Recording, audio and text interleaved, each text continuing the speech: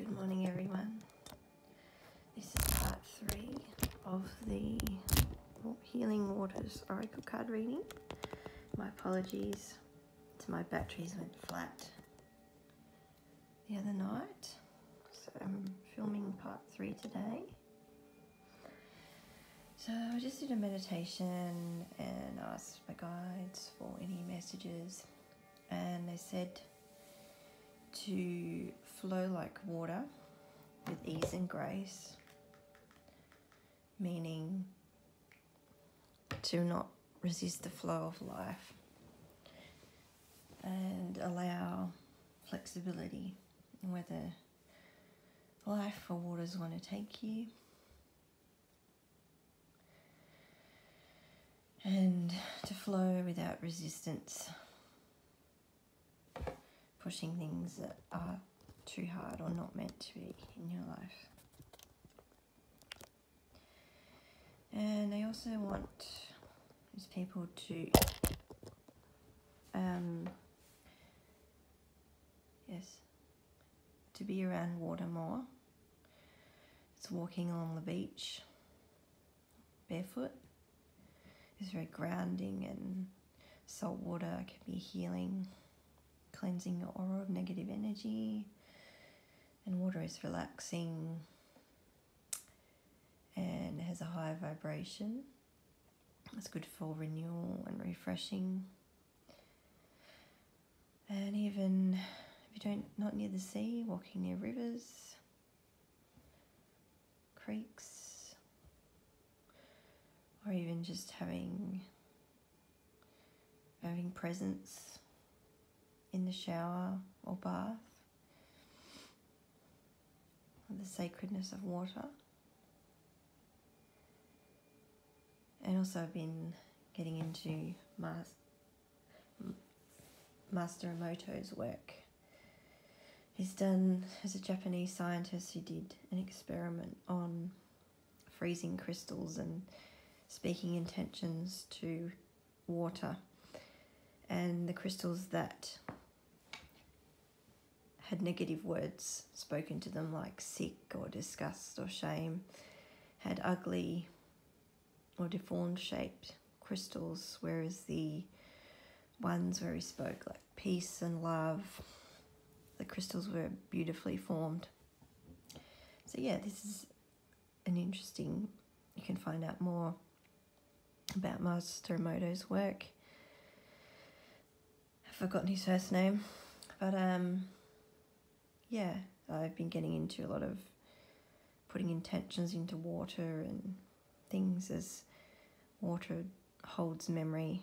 It's very absorbs energies and things. Anyway, get back to the. I've still got four cards left of the reading.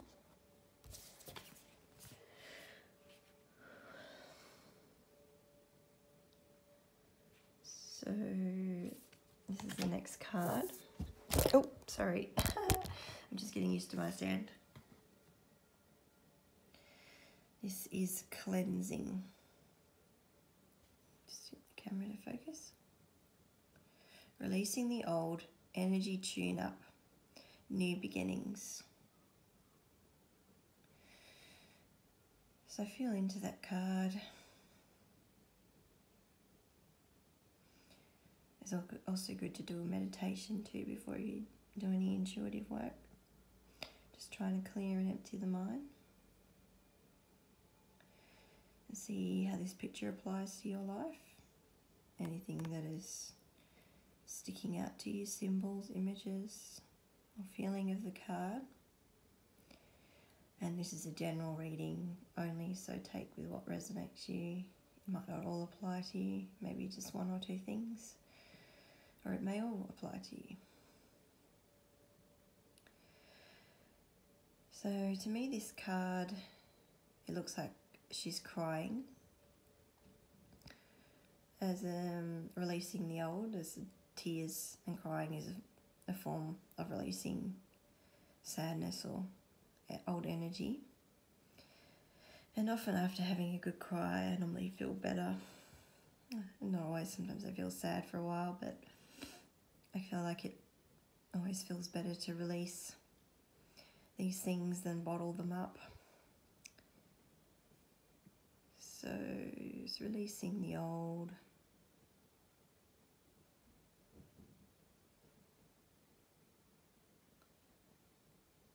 So it's saying new beginnings.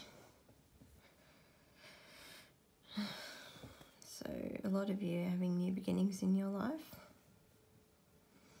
Embrace these new beginnings and not be scared. Okay, allow the water to wash away anything that is not needed and cleanse you. So I'm just going to read the, the guidebook, see what other messages we have.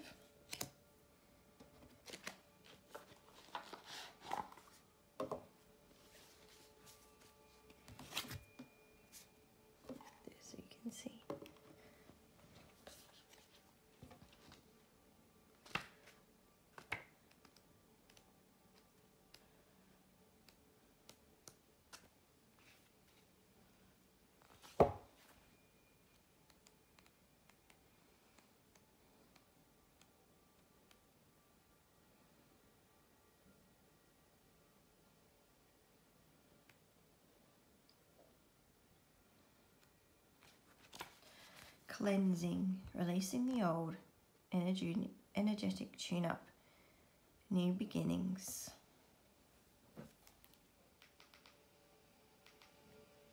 Water has been deeply associated with both physical and spiritual cleansing since ancient times. We use water to cleanse our day, day away as we bathe, and many of the world's faith traditions use water as a means of spirit, spiritual purification, from immersion to holy rivers to baptism and ritual baths. Sorry, just let the camera focus so you can see, see the card.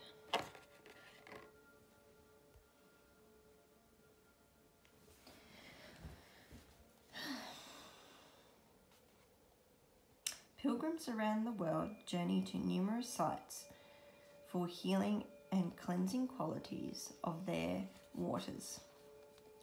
The water in the grounds of Japan's Hongu Sen, Senjin Taisa, sorry if I've pronounced that wrong, a Shinto shrine at the foot of the sacred Mount Fuji, is seen as both deeply holy and self purifying flowing from the melting snow at the volcanic volcano's mountain summit. It forms washing pools that call people to them from near and far. Many believe that these pools are very mystical and powerful. Local legend says that the depth of the pool's waters magically changes according to the size of the person who enters them, adapting to the level of their submergence. While visiting the healing water sites of the world is an incredible thing to do, we don't need to travel to experiencing the healing and cleansing power of water for ourselves. You probably already use water in this way, perhaps not, although perhaps not consciously. As you shower or bathe, or as you wash your hands, consider the water and call on it to support you, washing away what's coming to an end or is no longer in alignment, leaving space for what you'd like to birth anew. And here is the soul inquiry.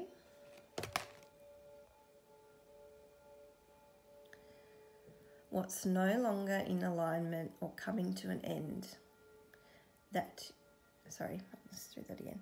What's no longer in alignment or coming to an end that you're ready to release. So have a think about that.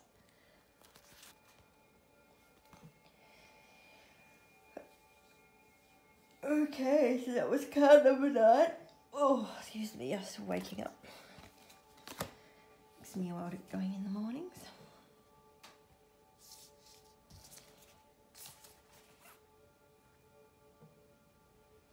Okay, number 10. The wellspring. What are you thirsty for? Body care. Take a breath. Wow, I love this picture.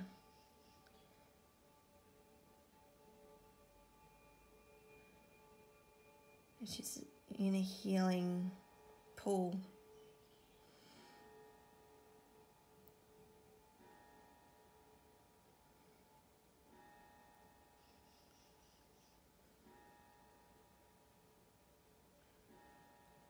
Sorry, it's just a clock.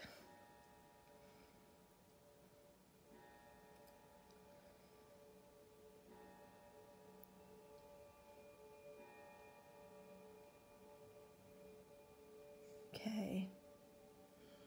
So to me, she's like protected and nurturing, resting.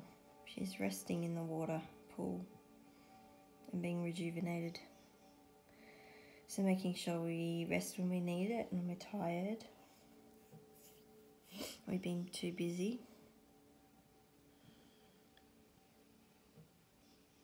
Okay.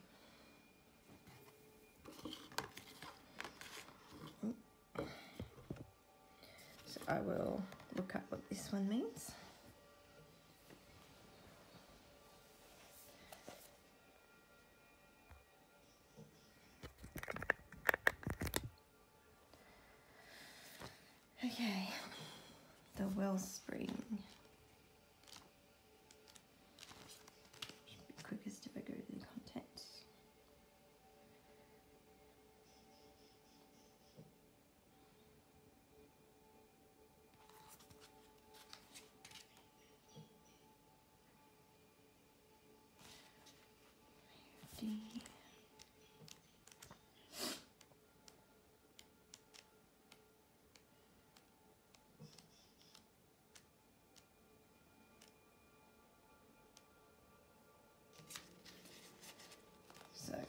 What are you thirsty for? Body care. Take a breath. We don't only need water to thrive, we need it to survive. The wellspring card often appears when things are unbalanced or when we've been pushing ourselves beyond our limits in ways that are simply unsustainable. Just like the seasons around us, we too are cyclical and thus we must pay attention to where we're expecting ourselves to be in bloom, in full bloom all year round. While we can rely on our reserves for a limited amount of time, if we allow ourselves to become depleted over a long period, to run empty, it'll likely take longer to recover than it did ever before than it ever did before. We must embrace our humanity and take care of the body by slowing down, quenching our thirst, and finding ways to recover and rest deeply. The Wellspring card is an invitation to look at where you've been going into overdrive, to reflect on the areas where you've been pushing yourself beyond your physical limits to consider whether you've been forcing yourself to run on your reserves. It delivers a message to reassess the speed and force you're using, to bring more harmony and balance back into your life and trust your inner seasons, to look after yourself and appreciate your precious body. Soul inquiry where are you pushing yourself beyond your limits?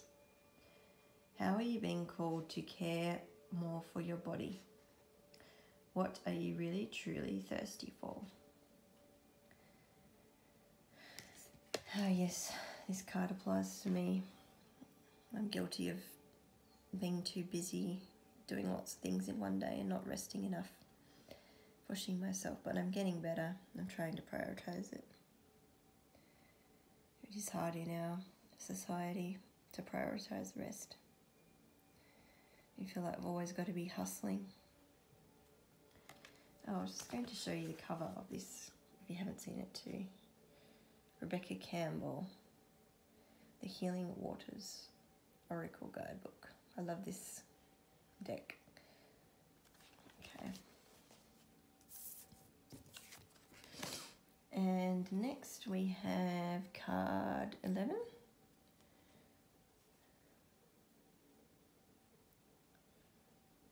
Wow. Like dancing, moving your body more, flowing with life, being playful.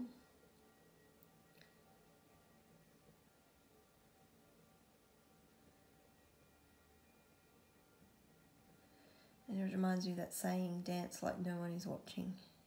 Be your free self and have fun and not worry about what you look like. Just being in the flow and rhythm of life and creativity.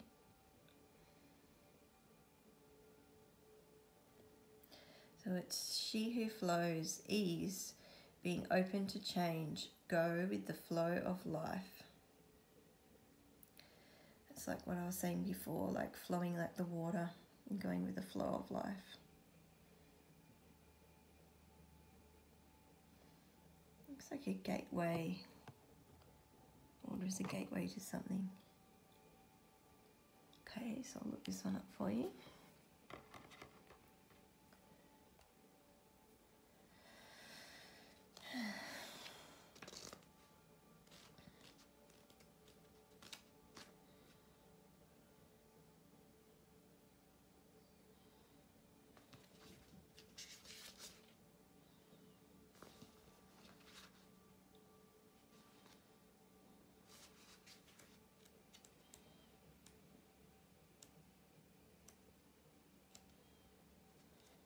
She who flows, ease, being open to change, go with the flow of life. Water is the most powerful force on our planet. It has the potential to destroy everything in its path or be embracing, still and gentle. When a river meets a rock, it doesn't try to move it. Instead, it embraces and flows around it it doesn't question why the rock is there. It sees it as part of its path. Water teaches us how to flow with life, how to greet the obstacles on our path with open arms and receive life fully. In this way, the world's waters have literally shaped and crafted entire landscape, the entire landscape of the planet that we know and love today. Mountains and valleys, coastlines and woodlands are all the result of water embracing life. The ancient Greek goddess Rhea was the daughter of Gaia, earth, and Uranus, heaven. She's referred to as a psych. I don't know how to pronounce his Cybele mother of us all. In his work, Cratylus, the philosopher Plato referred to Rhea as a stream or she who flows. Perhaps Rhea herself has much to share with us about how to truly flow with what appears on our journey, whether expected or unexpected. Call on her to support you in embracing any unexpected changes you're facing. This card invites us to stop seeing the unexpected things in life as obstacles and instead treat them as invitations to embrace life. To find a way to soften and embrace what occurs rather than try to avoid it or fight it. To flow with rather than resist. Soul inquiry. What unexpected obstacles are you resisting or fighting against right now? What would happen if you embrace them as part of your path?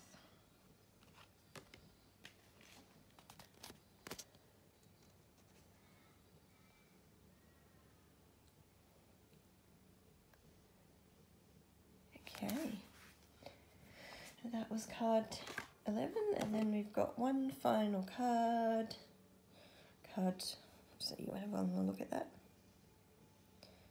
Card 12. Mm, Lovely card. Okay. Okay. So this is the final card, card 12. Water codes. Ancient wisdom.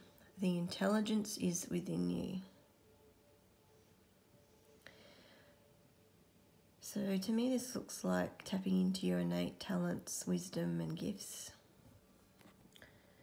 And the intelligence of the mind that we can tap into when we are relaxed and in flow.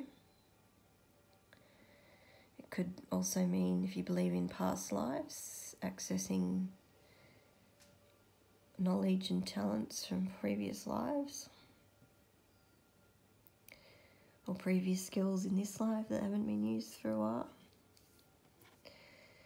And to me, this also is saying that water holds memory.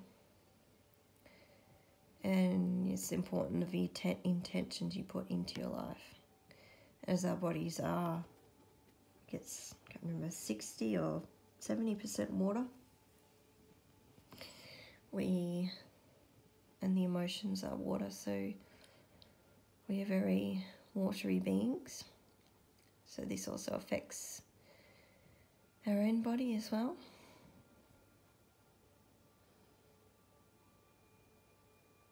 Mm, beautiful card.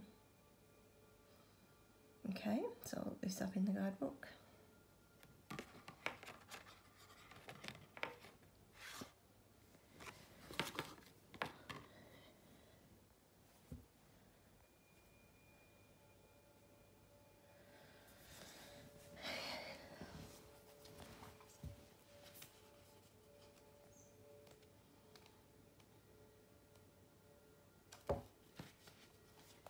Water codes, ancient wisdom, the intelligence is within you.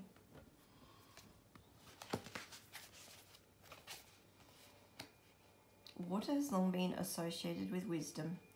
Celtic legend says that the goddess Ceridwen had a magic cauldron in which she brewed herbs, that anyone who drank from these waters would acquire great wisdom.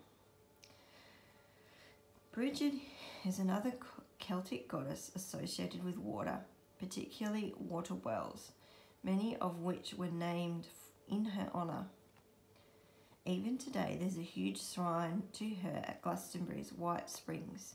It was once believed that the future king of the land had to drink Bridget's well waters to be initiated into his rule. Aha, he was the um, man's name I was looking for. Mas Masura Masuru Masuru Emoto proposed that water molecules can carry our thoughts, words, and emotions. This theory has the potential to change so much for humanity. Some believe that through connecting with water consciousness, we can unlock lost wisdom. What if we could remember the lost wisdom of our ancient ancestors, learn from their mistakes, and reconnect to those wise ones who lived in deep reverence of the waters and the earth? What if, through working with water, we could bring about healing on this water planet? You're an ancestor of times yet to come, called to reconnect with the wisdom of nature and the waters to be guided accordingly. You're a visionary of these times. Connect to the intelligence of waters and lead. Healing waters activation. I am ready to un- unlock the lost wisdom within the waters of the world. I am ready to unlock the lost wisdom within the waters of myself. I am ready to remember and to be led.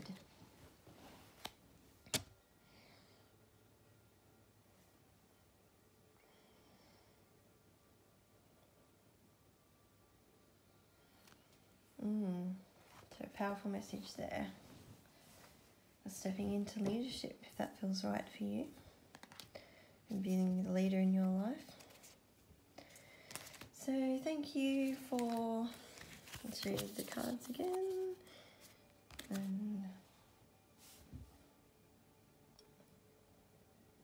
Thank you for listening guys. I hope you like this reading. Let me know any feedback in the comments. Like if you like the video, subscribe. Have a wonderful day. Gentle self-care. And making sure you drink enough water. Okay, bye for now.